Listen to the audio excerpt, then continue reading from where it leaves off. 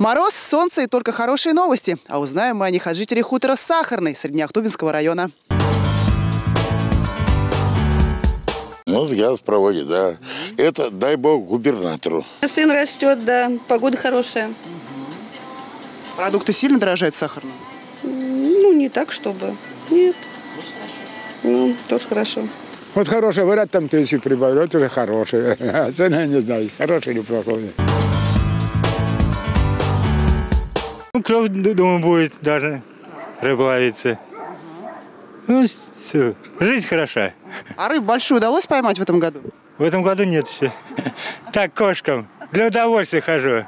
Погода хорошая, щеночек, кошечка у меня катилась. Да, два котеночка. Трех это самое, шерстные. Ну, на работу скоро выхожу. Радость. Вот радость еще внуки. Ну, Больше пока все.